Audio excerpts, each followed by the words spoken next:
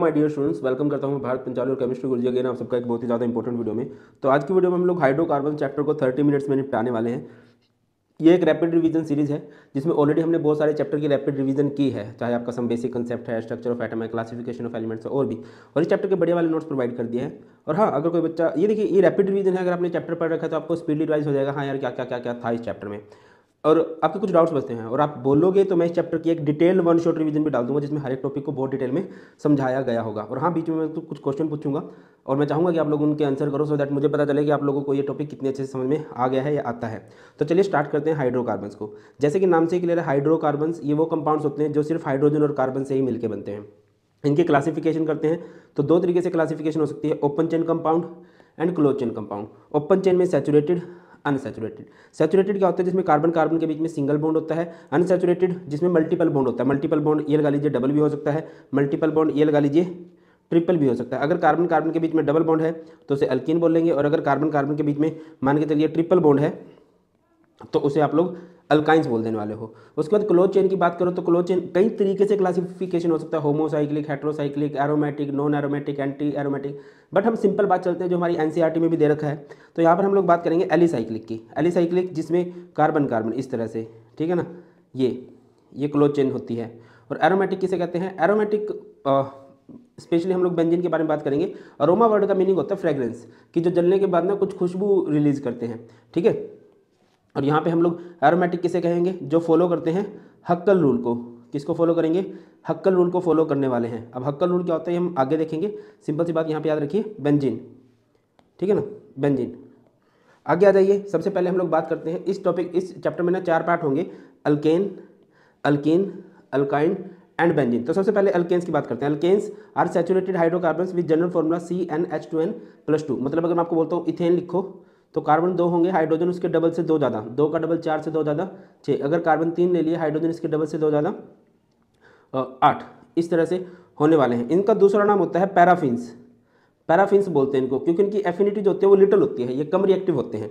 Structure की बात करें, कुछ इस तरह से इसका स्ट्रक्चर बनाया जा सकता है। सी एच फोर जो होता है वो टेट्राहेड्रल होता है। ठीक है ना? यहाँ पे इस तरह से है। यहाँ पर इसकी हाइब्रिडाइजेशन क्या दे रखी है आपको एस पी थ्री ये हाइड्रोजन हाइड्रोजन ये हेड टू हेड ओवरलैपिंग है तो ये कौन सा बॉन्ड बना हुआ है? ये हमारे पास बना हुआ है सिग्मा बॉन्ड आगे मूव करते हैं नेक्स्ट बात करते हैं। आइसोमेरिज्म की बात करें तो इधर आपको दो तरह का आइसोमर देखने को मिलेगा chain and position I hope आप सबको पता है चेन आइसोमर किसे कहते हैं? जिसमें चेन डिफरेंट हो, जैसे एक कार्बन की चेन है। ठीक है? इसमें पाँच कार्बन है। अब ये कार्बन की चेन है। इसमें भी पाँच कार्बन है बट यहाँ पर मेन चेन में चार कार्बन है, यहाँ पर मेन चेन में पाँच कार्बन है। और अगर चेन डिफरेंट होती है कार्बन की तो उसे चेन आइसोमर बोलते हैं। नेक्स्ट आता है पोजीशन आइसोमर पोजीशन आइसोमर कब आएगा? जैसे कार्बन की चेन है। ठीक है? मिथाइल ग्रुप यहाँ पे सेकंड पोजीशन पे लग गया, जैसे कार्बन की चेन है। मिथाइल ग्रुप यहाँ पे थर्ड पोजीशन पे लग गया। क्लियर है? अच्छा अगर मैं कार्बन कार्बन के सिंगल बॉन्ड की बॉन्ड लेंथ की बात करता हूँ तो वो होती है one point five four angstrom और अगर कार्बन हाइड्रोजन की बॉन्ड लेंथ की बात करता हूँ, वो होती है one point zero nine angstrom और बॉन्ड एंगल की बात करता हूँ तो यहाँ पर बॉन्ड एंगल होता है one zero nine degree twenty eight minute tetrahedral geometry में यही बॉन्ड एंगल आपको देखने को मिलेगा।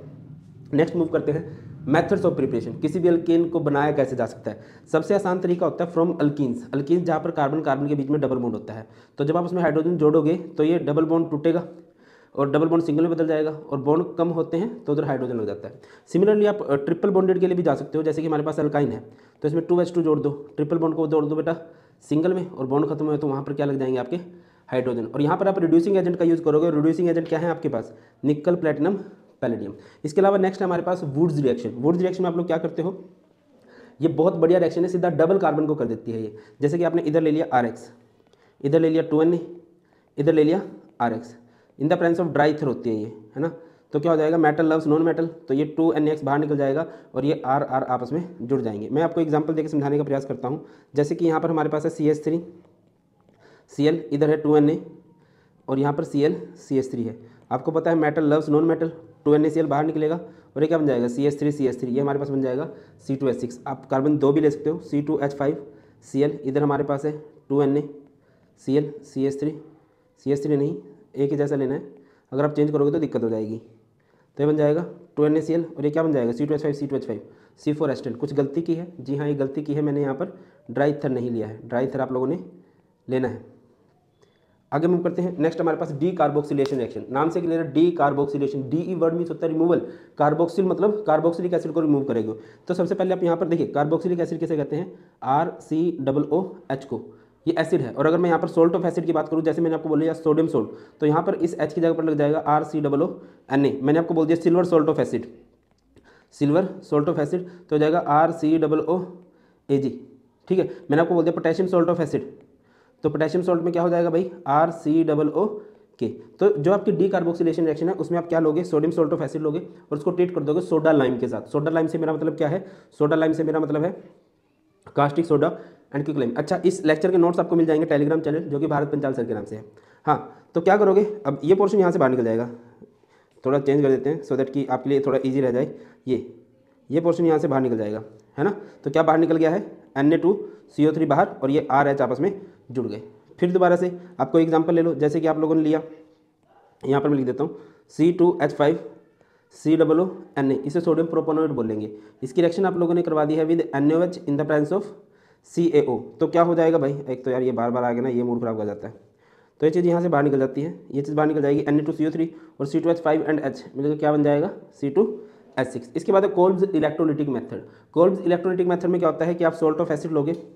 पानी डालोगे और इलेक्ट्रोलिसिस करवा दोगे तो ये सारा पोर्शन यहाँ से बाहर निकल जाएगा और यहाँ पर सिर्फ़ हमारे पास आर आर बचेंगे। ये सी डब्ल्यू बाहर निकलेंगे सी ओ टू एन ए इधर ओ एच के साथ two N O H hydrogen example करना चाहो तो एग्ज़ाम्पल कर सकते हो। जैसे कि आपने लिया C S three C double N A two times है। इसकी रिएक्शन आप लोगों ने करा दी विद वाटर और यहाँ से आप इलेक्ट्रोलिसिस करवा रहे हो। इसमें से आप करंट पास करवा रहे हो। तो ये सारे का सारा पोर्शन बाहर। तो C S three C S three जुड़ जाएगा। ठीक है ना? यहाँ पर सी डबल टू टाइम्स क्या बन जाएँगे? Two times of C O two N A इधर के ओ एच के साथ two times of N O H और यहाँ से हाइड्रोजन गैस रिलीज़ होने वाली है। आगे बढ़ो नेक्स्ट होती है इसकी फ़िज़िकल प्रॉपर्टीज़ फ़िज़िकल प्रॉपर्टीज़ में सबसे पहले मैं फ़िज़िकल स्टेट की बात करूँ carbon one to four gas होती है five to seventeen liquid state में होता है एटीन या उससे ज़्यादा जो होते हैं वो सॉलिड हो जाते हैं. सोलिबिलिटी की बात करते हैं. तो देखिए, ये हमारे पास नॉन पोलर सब्सटांस है और पानी पोलर होता है. तो organic substance generally non polar होते हैं तो बहुत ज़्यादा ऑर्गेनिक सब्सटांस पानी में घुलना पसंद नहीं करते हैं. और अगर कोई घुलता है तो इसका मतलब वो पानी के साथ हाइड्रोजन बॉन्ड बना रहा है. पानी के साथ हाइड्रोजन बॉन्ड बनाना कंपलसरी है, अगर कोई पानी में घुलना चाहता है तो. अल्केन्स नहीं घुलते हैं. ठीक है ना? ये पेट्रोल डीजल से हमें मिलते हैं और पेट्रोल जैसे होते हैं पेट्रोल आपको पता पानी में नहीं घुलता ऑयल पानी में नहीं घुलता। These are insoluble in water but soluble in non polar solvent non polar से मेरा मतलब है बेंजीन कार्बन टेट्राक्लोराइड मतलब जो खुद भी ऑर्गेनिक है, उनके अंदर ही घुल जाएगा। इसकी जो डेंसिटी है, वो लेस देन वाटर होती है तो ये वाटर के ऊपर फ्लोट करता है। बॉइलिंग पॉइंट की बात करें तो बॉइलिंग पॉइंट सिंपल है भाई। पूरी ऑर्गेनिक केमिस्ट्री का ट्रेंड यही रहता है लगभग। बॉइलिंग पॉइंट जो होता है, वो डायरेक्टली प्रोपोर्शन होता है मोलिकुलर मास के डायरेक्टली प्रोपोर्शन होता है टू द सरफेस एरिया के। और इन्वर्सली प्रोपोर्शन होता है टू द ब्रांचिंग मतलब अगर कहीं पर मोलिकुलर मास बढ़ेगा तो उसका बॉइलिंग पॉइंट बढ़ जाएगा। सर कैसे कह रहे हो ये बात? जैसे कि कोई आपसे पूछे दो कार्बन है, किस जगह पर तीन कार्बन है, किसी जगह पर चार कार्बन है, किसी जगह पर पाँच कार्बन है तो किसका बॉइलिंग पॉइंट सबसे ज़्यादा होगा? इस केस में। सबसे कम होगा इस केस में। ये वाला फंडा रहता है। आगे बढ़िए केमिकल प्रॉपर्टीज़ केमिकल प्रॉपर्टीज़ में आप कर देते हो हेलोजिनेशन और हेलोजिनेशन देखिए, जैसे कार्बन है, इधर मैं कराता हूँ। जैसे कि ये कार्बन है। इधर लगे हुए हाइड्रोजन आप इसकी हेलोजिनेशन कर रहे हो, आप लोग इसकी रिएक्शन कराओगे सी के साथ in the presence of sunlight इस रिएक्शन को बोला जाता है फ्री रेडिकल सब्सटीट्यूशन तो यहाँ पर जो सी है, वो जाएगा इस एच की जगह, ये बन जाएगा C S three C L फिर आप लोग इसकी रिएक्शन करा दो with C L two in the presence of sunlight तो सी एल दोबारा से जाएगा तो ये हो जाएगा C H two C L two समझ रहे हुआ क्या है? सी एल गया, उधर से एच आया एच सी एल फिर दोबारा से आप लोगों ने इसकी रिएक्शन करा दी सी एल टू के साथ तो सी एल दोबारा गया एक सी एल तो क्या बन गया? C H C L three फिर दोबारा से आप लोगों ने इसकी रिएक्शन कराई सी एल टू के साथ। सी एल दोबारा गया, ये क्या बन गया? सी सी एल फोर शायद आपको समझ में नहीं मैं बताता हूँ कि क्या है कि अगर हम कार्बन की हेलोजिनेशन करते रहेंगे तो यहाँ पर हेलोजन लगते चले जाएँगे हाइड्रोजन बाहर निकलते रहेंगे। और अगर आप कभी चाहते हो, जैसे कि यहाँ पर भी कई सारे हाइड्रोजन है तो लगता रहेगा। बट अगर आप चाहते हो, सिर्फ़ एक ही बार हेलोजन लगे बार बार हेलोजन ना लगे तो आप स्पेशली मैंशन करोगे कि मैंने यहाँ पर मोनो हेलोजिनेशन की है। मोनो हेलोजिनेशन तो जो दो सीएल हैं, उनमें से एक सीएल इधर से एच को हटाएगा, ये बन जाएगा C H three C H two C इस तरह से रिएक्शन होगी। इसके बाद है कंप्लीट कंबशन देखिए, अगर एक हाइड्रोकार्बन की कंबशन करोगे, उसको जलाओगे तो प्रोडक्ट में क्या मिलेगा आपको? प्रोडक्ट में आपको C O two and water मिलने वाला है। जैसे कि एग्ज़ाम्पल लो सी थ्री अल्केन की बात करो अगर कार्बन तीन है तो हाइड्रोजन कितने हो जाएँगे? हाइड्रोजन बेटा जी आपके हो जाएँगे आठ। आप इसकी ऑक्सीडेशन कर रहे हो कम्बशन कर रहे हो तो क्या होगा? कार्बन है कार्बन से क्या बनेगा? C O two and hydrogen hydrogen से क्या बनेगा? वाटर कितने सी ओ टू बनेंगे? थ्री टाइम्स कार्बन है ना? Three times of C O two and eight hydrogen है ना? Four times of H two तो कार्बन और हाइड्रोजन तो बैलेंस ऑक्सीजन को भी बैलेंस कर लो। दो ऑक्सीजन है और दो नहीं, तीन दो नहीं छः और चार दस तो ये फाइव इस तरह से। अच्छा ये तो कंप्लीट कम्बशन होती है। कंप्लीट कम्बशन से कार्बन डाइऑक्साइड एंड वाटर बनता है। अगर आप इसकी कैटालिटिक ऑक्सीडेशन करते हो, ठीक है, आप इसको ट्रीट करते हो विद कैटलिस्ट तो देखिए, एक हाइड्रोकार्बन लिया मिथेन आपने इसको कॉपर के साथ लिया है तो मिथेनॉल बनेगा। बेटा, याद रखिए कि इसकी प्रेजेंस में क्या बनता है? कॉपर की प्रेजेंस में मिथेनॉल अगर आपने लिया M O two O three molybdenum oxide तब आपका बनेगा मिथेनल और अगर आपने लिया है मैग्नीज सॉल्ट ऑफ़ एसिड तो आपका बनेगा कार्बोक्सिलिक एसिड कॉपर के साथ क्या बनेगा? मिथेनॉल मोलिबिडनम ऑक्साइड के साथ क्या बनेगा? मिथेनल और अगर आपने मैग्नीज सॉल्ट ऑफ़ एसिड लिया है तो आपके पास बनेगा कार्बोक्सिलिक एसिड आगे बढ़ जाइए आइसोमराइजेशन आइसोमराइजेशन क्या होता है? Same molecular formula different structure ठीक है? अगर आपने एक अल्केन ले लिया, जैसे कि सी सिक्स एच फोर्टीन है, यहाँ पे आपने रिएजेंट लिया A L C L three H C L तो आप देखोगे कि ये जो एन हेक्सेन है, जो एक सीधी चेन है, ये ब्रांचेस की फॉर्म में एग्जिस्ट करेगा। और अगर आप यहाँ पे देखो तो आपको चेन आइसोमर दिखाई दे रहा होगा। इसके बाद हमारे पास आता है एरोमेटाइजेशन एरोमेटाइजेशन मतलब आपने छः कार्बन का एक हाइड्रोकार्बन ले लिया। छः से ज़्यादा भी ले सकते हो, है ना? लिया और कंडीशन ली है। यहाँ पर आपने C R two O three ले लिया। टेम्परेचर ले लिया बहुत ज़्यादा, सात सौ तिहत्तर कैलविन एटमोस्फेरिक प्रेशर ले लिया टेन टू ट्वेंटी आप ऑब्ज़र्व करोगे कि ये भाई साहब किसमें कन्वर्ट हो गए हैं? बेंजीन में। और प्लस में हाइड्रोजन बन रहे होंगे। ये एच टू ओ नहीं अच्छा अगर कार्बन आप छः से ज़्यादा ले लेते हो, आप सात ले लेते हो तो छः कार्बन की बेंजीन और एक कार्बन ऊपर लगा रहेगा, टोलविन बन जाएगा। अगर आठ कार्बन ले लेते हो छः कार्बन की बेंजीन और ऊपर दो कार्बन अल्काइल ग्रुप में इथाइल की फॉर्म में एग्जिस्ट करेंगे। समझ रहे हो? इसके बाद आता है हमारे पास पायरोलिसिस पायरोलिसिस मीन्स होता है ब्रेक डाउन करना, किसी भी सब्सटेंस की ब्रेकिंग करवा देना। जैसे कि सी सिक्स एच फोर्टीन है, अगर आप इसको ब्रेक डाउन करोगे तो स्मॉलर पार्ट्स के अंदर ब्रेक हो जाएगा। जैसे कि यहाँ पर चार, दो, तीन, दो, एक। हाँ इसमें आप देखोगे कि हाइड्रोजन कार्बन बैलेंस कर लेना अल्कीन और अल्केन आपको देखने को मिलने वाले हैं। जैसे कि लास्ट में देखो सी थ्री एच सिक्स है डबल हाइड्रोजन है तो ये अल्किन है सी टू एच फोर है, ये अल्किन है, और ये सी एच फोर है डबल से दो ज़्यादा है तो अल्किन है। नेक्स्ट आपको कन्फर्मेशनल आइसोमर देखने को मिलते हैं। कन्फर्मेशनल आइसोमर क्या होता है कि सिंगल बॉन्ड के अराउंड में ग्रुप जो है रोटेशन शो करते हैं तो मिलियंस ऑफ़ स्ट्रक्चर आपको देखने को मिलते हैं। क्या होते हैं? Conformational isomer different arrangement of atom in space due to the free rotation of group around carbon carbon single bond are called conformational isomers ठीक है? एक होती है एलिप्स फॉर्म एक होती है स्टैगर्ड फॉर्म ठीक है? और ये सा हॉर्स प्रोजेक्शन है। सा हॉर्स में देखिए, क्या होगा? जैसे कि बॉन्ड है, यहाँ पर आपने हाइड्रोजन लगा रखे हैं। अगर आप इसके बिल्कुल बैक साइड में हाइड्रोजन लगाते हो तो ये होती है एलिप्स ठीक है? और अगर ऐसे है हाइड्रोजन हाइड्रोजन हाइड्रोजन हाइड्रोजन और अगर आप इसको ऐसे कर दो, बिल्कुल उल्टा कर दो तो हो जाती है इसकी स्टैगर्ड फॉर्म नोटिस कर पा रहे हो? सामने वाले के रिस्पेक्ट में पीछे वाले को देखो तो आपको इस तरह देखने को मिलेगा। नेक्स्ट हमारे पास एक न्यू मैन प्रोजेक्शन आती है। न्यू मैन में ना आप एक इस तरह से सर्कल लगाते हो, इसका फ्रंट कार्बन इसके बैक साइड में। इधर हाइड्रोजन लगा रखे हैं। अरे यार, ये सर्कल है, ये है। हाइड्रोजन हाइड्रोजन हाइड्रोजन इसके जस्ट बैक साइड में हाइड्रोजन हाइड्रोजन हाइड्रोजन ये एलिस फॉर्म है। और अगर आपको इसकी स्टैगर्ड फॉर्म बनानी हो तो ये सर्कल है। इधर हाइड्रोजन हाइड्रोजन हाइड्रोजन बिल्कुल उल्टा कर दो।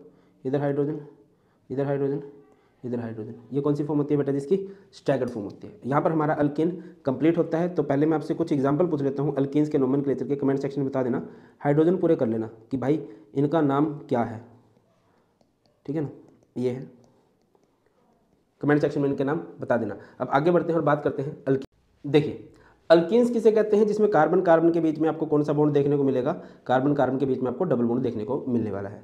इनका जनरल फॉर्मूला क्या होता है? इनका जनरल फॉर्मूला होता है सी एन एच ट्वेल्व इनका दूसरा नाम होता है ओलेफिन्स ओलेफिन्स का मतलब क्या होता है? ऑयल लाइक ठीक है ना? ऑयल की तरह ये होते हैं। अगर मैं इनके स्ट्रक्चर्स की बात करता हूँ तो स्ट्रक्चर किस तरह से होता है भाई? जैसे कि आप एक अल्किन ले लो। अच्छा मैं पहले यहाँ पे ना एक इथेन का स्ट्रक्चर बना के दिखाना चाहूँगा। इथेन होता है सी टू एच सिक्स और इथेन होता है सी टू एच फोर इसको ऐसे भी लिख सकते हो ना? सी ऐसे। H H H H H H ठीक है? अगर मैं आपसे पूछूँ, यहाँ पर इस कार्बन की हाइब्रिडेशन क्या है? इस कार्बन की हाइब्रिडेशन है sp3 इस कार्बन की हाइब्रिडेशन क्या है? इस कार्बन की हाइब्रिडेशन है sp3 sp3 है तो ज्योमेट्री क्या होगी? टेट्राहेड्रल और अगर आप टेट्राहेड्रल को बनाना चाहो ना, कुछ इस तरह से बनाया जा सकता है। अगर आप नोटिस करो, आप इसको इस तरह से बना सकते हो। सिमिलरली इस कार्बन की हाइब्रिडेशन क्या है? sp3 तो इसकी भी ज्योमेट्री आप इस तरह से बना के दिखा सकते हो। ठीक है? sp3 है sp3 है। अब इनको जोड़ दो। अभी हेड टू हेड ओवरलैपिंग हो गई है इन कार्बन्स की। ये जो कार्बन है थ्री हाइब्रिडाइजर ये जो कार्बन है, यहाँ पर हाइब्रिडेशन हो गया तो यहाँ पर सिग्मा बॉन्ड है।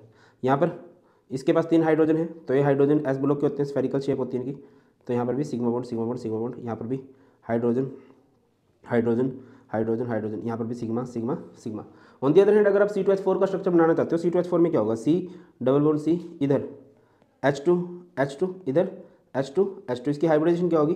बेटा जी, अगर आप इसकी हाइब्रिडेशन देखो तो इसकी हाइब्रिडेशन होगी एस पी टू इस कार्बन की हाइब्रिडेशन होगी एस पी टू यही होगी ना। तो कर दो भाई, ये कार्बन है। एस पी टू हाइब्रिडाइजेशन क्या होती है? ट्राइगोनल प्लेनर होगी ना ज्योमेट्री गलत बना दिया। इस तरह से। कुछ इस तरह से। इसकी भी कुछ इस तरह से। एस पी टू में ट्राइगोनल प्लेनर तो सबसे पहले तो ओवरलैपिंग करा दो। ये, इन कार्बन्स की ओवरलैपिंग कराई हेड टू हेड ओवरलैपिंग और हेड टू हेड जब इन कार्बन्स की ओवरलैपिंग हुई है, यहाँ पर तो ये कौन सा बॉन्ड है? सिग्मा, और यहाँ पर साइडों में क्या लगे होंगे?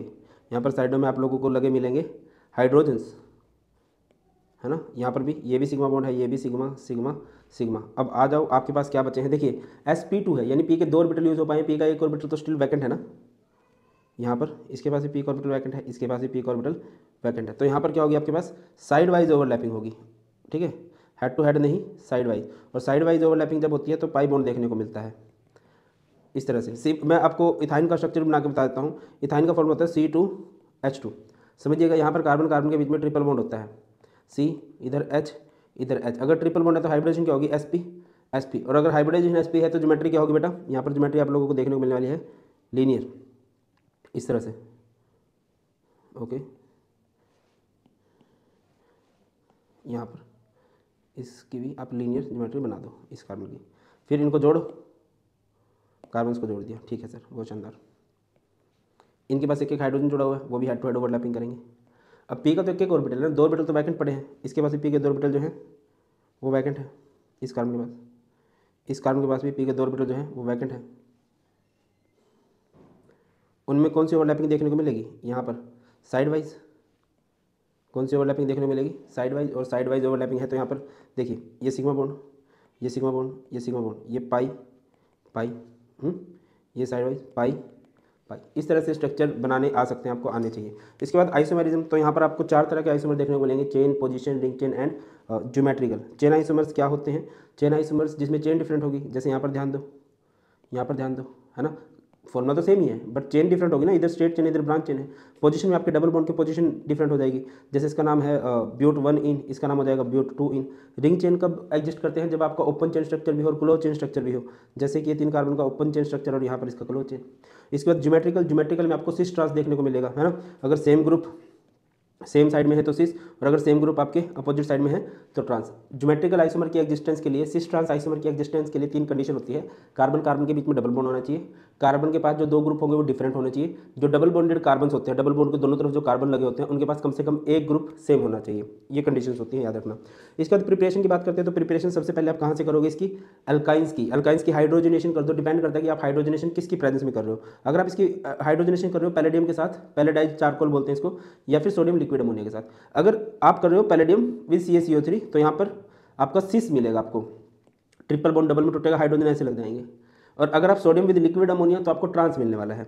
इसके बाद acidic dehydration of alcohol dehydration नाम से क्लियर है। D E means removal hydration का मतलब होता है वाटर तो आपके पास एक अल्कोहल है, जब आप इसको कंसनट्रेटेड एस्प्रेसो फोर के साथ ट्रीट करोगे, ये अल्फ़ा होता है, जिस कार्बन के पास अलग सा ग्रुप जुड़ा होता है, उससे नेक्स्ट वाला कहलाता है बीटा तो क्योंकि बीटा पोजिशन से हाइड्रोजन गया है तो इस टॉपिक का दूसरा नाम बीटा एलिमिनेशन भी होता है। क्या होता है? बीटा एलिमिनेशन तो यहाँ से एच और एच बाहर निकल जाएगा और यहाँ पर C H two C H two उनके बीच में कौन सा बॉन्ड आ जाएगा?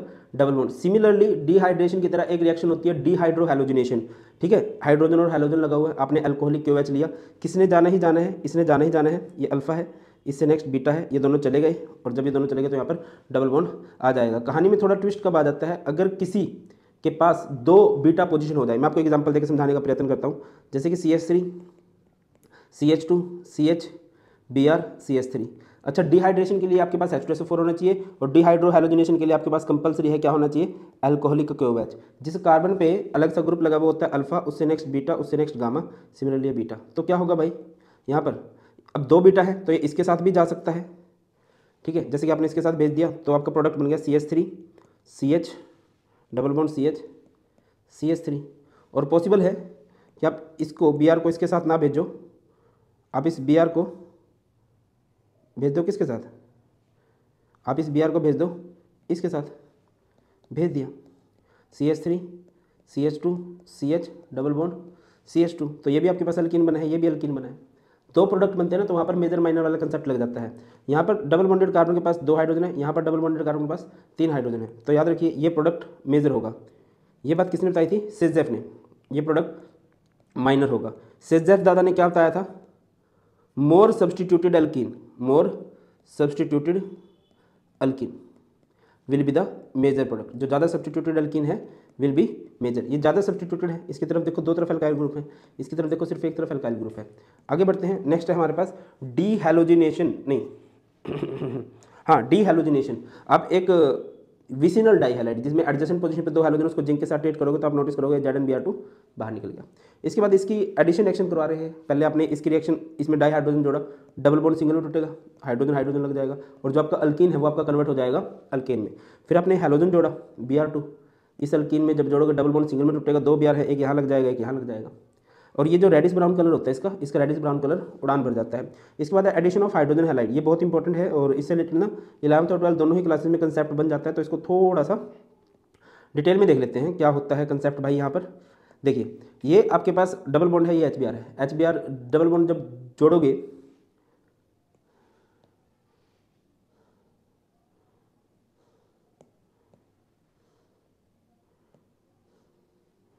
इसको तो लिख रहा ठीक है ना? और इसको यहाँ से उड़ा दे रहा हूँ। दोनों रूल को समझा रहा हूँ। जैसे C H three C H double one C H two आपने इसमें एच बी आर जोड़ा। तो क्या होगा? देखिए, अगर आप इसको ऐसे जोड़ते हैं, जैसे कि मान के चलो मेरे पास ये है C H two double one C H two आप इसमें एच बी आर जोड़ने वाले हो। तो क्या होगा? डबल वन टूटेगा सिंगल में। एक जगह पर जाएगा सी एच थ्री और एक जगह पर जाएगा C H two B R एक जगह पर एच पॉजिटिव एक जगह पर आपने भेज दिया एच और एक जगह पर आपने भेज दिया बी आर कोई दिक्कत नहीं है। ये सिमेट्रिकल अल्किन है कहानी में ट्विस्ट कब आता है, जब आपके पास अनसिमेट्रिकल अल्किन हो तो कौन कहाँ जाए? यहाँ पर लगता है डिफ़ॉल्ट रूल है मार्कोनिकोफ मार्कोनिकोफ रूल क्या बोलता है? नथु लाल, हलवाई। Negative portion of the additive will goes to that carbon having lower number of hydrogen कि जो आपका नेगेटिव पोर्शन है, वो लोअर हाइड्रोजन के पास जाएगा। तो एच में जो बी आर नेगेटिव है, वो लोअर के पास, यानी कि इधर और ये इधर। अब जब कोई काम बढ़िया चलता है, उसका एंटी भी आता है। अब एचबीआर है और अगर आपने यहाँ पे ऑर्गेनिक परोक्साइड ले लिया एचबीआर है, आपने यहाँ पर ले लिया ऑर्गेनिक परोक्साइड तो आपका एंटी मार्कोनिको फ्रूल लगेगा। और एंटी मार्कोनिको फ्रूल क्या बोलता है? एन एच एच नथु हरा, हलवाई। नेगेटिव कहाँ जाएगा? हाइयर के पास। जैसे कि एच पॉजिटिव है बी आर नेगेटिव है। तो नेगेटिव जाएगा हाइयर के पास। और ये इधर, देखिए, ये लग गया। ये सी एच थ्री ये सी एच टू और ये C H two B R इस तरह से कहानी घटित हो जाती है। आगे बढ़ते हैं। ओजोनोलिसिस। ओजोनोलिसिस बहुत सिंपल है। डबल बॉन्ड को तोड़ दो, बाजू में ऑक्सीजन को जोड़ दो। ये आपके पास एक अल्किन है। इसमें आप ozone जोड़ोगे with Z N H two तो ये डबल बॉन्ड टूट जाएगा। इधर ऑक्सीजन जुड़ जाएगा, इधर ऑक्सीजन जुड़ जाएगा। नोटिस करो। कोई भी आपके पास एक अल्किन है, कुछ इस तरह मान के चलो। C S three C H double bond C C S three C S three आप लोग उसमें जोड़, उसकी ओजोनोलिसिस करवाना चाह रहे हो तो यहाँ पर क्या हो जाएगा भाई? डबल बॉन्ड को तोड़ दो और बाजू में ऑक्सीजन को जोड़ दो। ये क्या हो जाएगा? C S three C double bond O H इधर C S three C double bond O C S three इस तरह से हो जाएगा। इसके बाद पोलीमराइजेशन पोलीमराइजेशन क्या होता है? मोनोमर समझते हो मोनोमर बोला जाता है सिंगल यूनिट और पोलीमर होता है बहुत सारे यूनिट इसको एन टाइम्स करो एन सामने लगेगा डबल बॉन्ड सिंगल टूट जाएगा। Addition of water addition of water भी मार्कोनी को फ्लूल के अकॉर्डिंग आप लोग करोगे। जैसे कि आपने इसमें एच टू जोड़ा एच टू में क्या होगा? H positive O H negative और मार्कोनी को फ्लूल क्या होता है? नथु लाल हलवाई negative will goes to lower तो जो आपका नेगेटिव पोर्शन है वो लोअर के पास, वो इधर आएगा और ये इधर ये क्या बन जाएगा? C H three C H O H और इधर सी एच थ्री क्या तुम भी टेंशन ले रहे हो? यहाँ पर हमारा अल्किन जो है खत्म होता है। इसके बाद हमारे पास आता है अल्काइंस अल्काइंस किसे कहते हैं? जिसमें कार्बन कार्बन के बीच में कौन सा बॉन्ड देखने को मिलता है? ट्रिपल बट पहले मैं और इनका जनरल फॉर्म क्या होता है? C N S two N minus two ठीक है ना? और स्ट्रक्चर तो हम ऑलरेडी कर ही चुके हैं। ये आपको कौन से आइसोमर शो कर सकता है? Chain isomer position functional and metamers अगर एसिडिक करेक्टर की बात करें तो याद रखिए, जो एस पी हाइब्रिडाइजेशन होती है, उसकी एसिडिक स्ट्रेंथ ज़्यादा होती है एस पी टू से एस पी थ्री से। ये ऑर्डर होता है। जितना ज़्यादा एस करेक्टर होता है ना, उतना ज़्यादा एसिडिक स्ट्रेंथ होता है। तो सबसे ज़्यादा एस करेक्टर आप देखोगे, कहाँ देखने को मिलता है? एल्काइंस में। और सबसे कम अल्केन्स में। दैट्स वाई अल्काइंस जो बॉन्ड होता है, वो सबसे ज़्यादा एसिडिक माने जाते हैं। अच्छा लगे हाथ कुछ अल्केन्स के नॉमन ही कर दो यार। हैं? आसान सा ही देते हैं। कमेंट सेक्शन में इन सभी का नाम कर दो। क्लियर एक बार तो बात करते हैं अल्काइंस की प्रिपरेशन की, कि इसको प्रिपेयर कैसे किया जा सकता है। तो सबसे पहले हम लोग इसको प्रिपेयर करते हैं from calcium carbide calcium carbide क्या होता है? सी ए सी टू आप लोग इसको ट्रीट करते हो with water two H two तो क्या होगा कि जो इसका कैल्शियम है, वो इसके ओ OH के साथ जाता है, और उसके जो दो कार्बन है, वो यहाँ से दो हाइड्रोजन को निकालते हैं। एच ओ एच है ना? टू टाइम्स तो ये दो कार्बन दो हाइड्रोजन के साथ कुछ इस तरह सी एच सी एच और ये C A O H two clear है? इसके बाद नेक्स्ट हमारे पास from vicinal dihalide vicinal समझते हो ना? जब कार्बन पे लगातार दो हाइड्रोजन लगे, आपने इसको ट्रीट करना है विद एल्कोहलिक क्यूएच तो होगा क्या? जब इसको एल्कोहलिक क्यूएच के साथ ट्रीट करोगे तो यहाँ से एच बी आर तो ये हमारे पास क्या बन चुका है? सी एच टू एंड ये double bond C H B R फिर आप लोग इसे ट्रीट करोगे N A N H two तो यहाँ से एच बी आर भी बाहर निकल जाएगा और ये हमारे पास क्या बन चुका होगा? एक अल्काइन बन चुका होगा। आगे बात करते हैं इसकी केमिकल प्रॉपर्टीज़ की। केमिकल प्रॉपर्टीज़ ये इंपॉर्टेंट है, आपको ट्वेल्थ क्लास में भी देखने को मिलेगी। जैसे कि आपने इसमें वाटर का एडिशन किया तो एक जगह पे एच जाएगा, एक जगह पर ओ जाएगा। ये हमारे पास क्या बन चुका होगा? इनोल इनोल में आप देखोगे कि यहाँ पर टोटोमराइजेशन एग्जिस्ट करेगी। टोटोमराइजेशन से क्या होगा कि डबल बॉन्ड माइग्रेट कर जाएगा टुवार्ड्स मोर इलेक्ट्रोनेगेटिव और हाइड्रोजन इसका आ जाएगा इधर। तो यहाँ पर आप देखोगे कि आपके पास एल्डिहाइड बन गया। आप किसी और पे भी लगा सकते हो सेम जैसे कि आपके पास एक और एल्काइन है। जैसे कि ये, बहुत शानदार। है ना? जैसे कि आपके पास ये है C H three C triple bond C H आपने इसमें वाटर का एडिशन किया इन द प्रेजेंस ऑफ़ क्या लेना है आप लोगों ने? H two S O four and H G S O four Markovnikov rule के अकॉर्डिंग एडिशन होगी. H positive O H negative क्या होता है Markovnikov negative will goes to lower तो ओ एच इधर जाएगा और एच इधर जाएगा. ये क्या बन चुका होगा? C H three C O H और यहाँ पर double bond C H two इसके बाद आप लोग क्या देखोगे कि यहाँ पर आपको क्या देखने को मिलेगा? टोटोमराइजेशन टोटोमराइजेशन में क्या होगा कि जो पाई बॉन्ड है, माइग्रेट कर जाएगा टुवर्ड्स मोर इलेक्ट्रोनेगेटिव और हाइड्रोजन इधर। ये हो जाएगा C S three C double bond O C S three क्या दिक्कत आ रही है? आगे बढ़ते हैं। नेक्स्ट हमारे पास एडिशन ऑफ़ हाइड्रोजन आपने किया भी है पहले कि एक अल्काइन में हाइड्रोजन जोड़ोगे अल्किन बन सकता है, फिर हाइड्रोजन जोड़ोगे तो आपके पास अल्केन बन जाएगा। नेक्स्ट है पॉलीमराइजेशन आपने अल्काइन लिए। आप देखो खास तरह से आप लोगों ने अल्काइन लेने हैं। छः हो गए टोटल कार्बन तो आप देखोगे सिंगल सिंगल बॉन्ड आगे शिफ्ट करवा के इसको रेड हॉट आयरन ट्यूब में आठ सौ तिहत्तर कैलन पर जब गर्म करेंगे एक अल्काइन को तो आपको क्या मिलेगा? यहाँ पर बेंजीन मिल जाएगा। तो ये होता है भाई आ, ये इसकी केमिकल प्रॉपर्टीज़ हैं ज़्यादा नहीं है। नेक्स्ट हमारे पास एरोमेटिक हाइड्रोकार्बन्स आते हैं। एरोमेटिक हाइड्रोकार्बन्स किसे कहते हैं? Those hydrocarbons which contain benzene ring ठीक है? इसके अलावा भी हो सकते हैं बट हम जनरली बेंजीन रिंग वाले को ही प्रेफर करते हैं। और मैंने स्टार्टिंग में बोला था, जो हक्का रूल को फॉलो करें। हक्का रूल क्या होता है? जिसकी जिसके पास प्लेनर स्ट्रक्चर हो एस पी टू हाइब्रिडाइजेशन हो, है ना? साइक्लिक स्ट्रक्चर हो four N plus two pi electron हो। फोर एन प्लस टू का मतलब क्या है? एन की जगह कुछ भी पुट करो।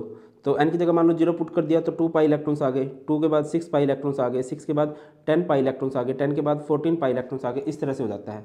जैसे कि हम लोग बात करते हैं कि हमारे पास एक बेंजीन है। क्या ये हमारे पास एरोमेटिक हाइड्रोकार्बन है? क्या ये हक्कल रूल को फॉलो कर रहा है? तो इसका आंसर है येस ये हक्कल रूल को फॉलो कर रहा है। कैसे पहली कंडीशन होती है कि हमारा कंपाउंड जो है साइक्लिक होना चाहिए? तो ये साइक्लिक तो है। है ना? बंद स्ट्रक्चर है। दूसरी कंडीशन होती है कि प्लेनर जोमेट्री होनी चाहिए, या फिर आप इसे कह सकते हो कि एस टू हाइब्रिडाइजेशन होनी चाहिए। अगर आप हर एक कार्बन को देखो, जैसे इस कार्बन को देखो, इसने डबल बॉन्ड बना रखा है। इस कार्बन को देखो, इसने डबल बॉन्ड बना रखा है। इस कार्बन को देखो, इसने डबल बॉन्ड इस कार्बन ने डबल बॉन्ड हर एक कार्बन ने डबल बॉन्ड ही तो बना रखे हैं तो एस टू हाइब्रिडाइजेशन है। और तीसरी कंडीशन होती है four N plus two pi electrons होने चाहिए। तो पाई बॉन्ड देखो कितने हैं?